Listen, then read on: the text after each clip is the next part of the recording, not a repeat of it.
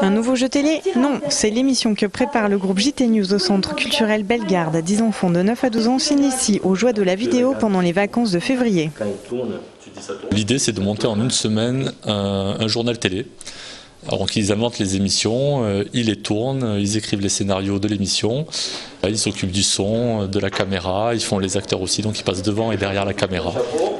Un Fort Boyard revu et corrigé à la sauce mexicaine, un JT, où Speedy González est un ministre des Affaires étrangères démissionnaire. Les enfants ont tout compris à l'actualité politique du moment. C'est en partenariat avec le Festival euh, du cinéma d'Amérique latine.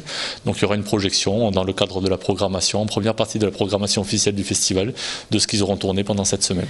Tournage, son, montage, post-production, effets spéciaux, les enfants seront plus à tous les exercices. Euh, J'aime bien prendre le son, euh, faire la caméra, euh, jouer, voilà tout.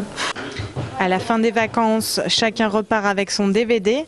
Le film des vacances finalement, c'est eux qui l'auront fabriqué.